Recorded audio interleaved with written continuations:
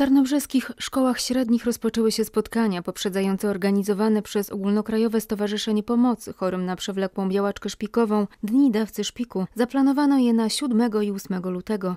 O przeszczepach szpiku, będących często jedynym ratunkiem dla chorujących na choroby krwi, mogli nieco więcej dowiedzieć się m.in. uczniowie tarnobrzeskiej budowlanki. Idea jest taka, żeby być świadomym potencjalnym dawcą szpiku. Dlatego też przez inne lata wolontariuszami byli uczniowie z tej szkoły i pani Piekutowska.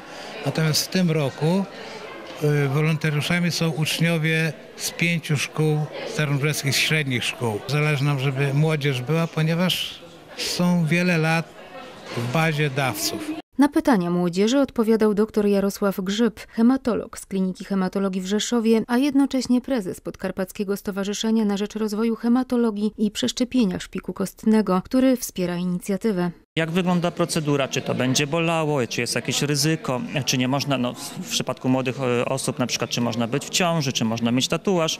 E, Tutaj też się zmieniają te wytyczne. One oczywiście wszystkie są w internecie, ale tak jak doskonale wiemy, internet nie zawsze mówi w 100% prawdę, więc jest ten tu żywy człowiek, który jakby e, no, robi to, prawda?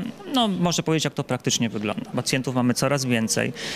Od właściwie końca tamtego roku mamy też możliwość przeszczepienia szpiku w Rzeszowie, więc też jestem po tym, że teraz będziemy mogli ten szpik pobierać jakby bliżej. Edukacyjne spotkanie przybliżające ideę dawstwa szpiku kostnego to zapowiedź organizowanych w ramach akcji Komórkomania Dni Dawcy Szpiku w Tarnobrzegu, które odbędą się pod hasłem Kochaj bliźniaka swego, kolejno 7 lutego w Zespole Szkół nr 3 w Tarnobrzegu i 8 lutego w Liceum Ogólnokształcącym imienia Mikołaja Kopernika. Ta akcja będzie od 9 do 16, żeby każdy mieszkaniec Tarnobrzega, który się o tym dowie, żeby mógł przyjść spokojnie zostać potencjalnym dawcą szpiku.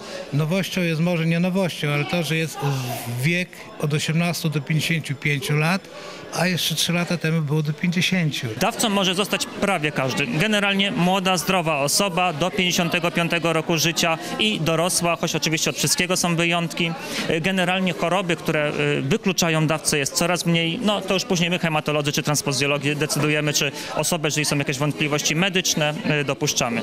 Ale zarejestrować się może naprawdę praktycznie każdy. Im więcej pacjentów jest zarejestrowanych, tym szansa to, że się uda dobrać dawcy w Polsce jest y, większa.